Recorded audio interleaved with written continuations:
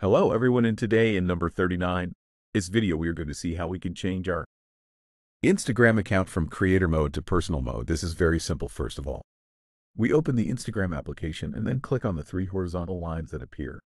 At the top of the screen we are going to click on the first option, More Settings My Privacy and then we are going to give the option of for professionals who are here to the only option that has the tools and controls of creators. Click on it and now if we go down a little we see how there is an option that says change account type that is at this point we use it and now it tells us if we want to change creator mode which is the one we are now in personal mode or in business or professional mode.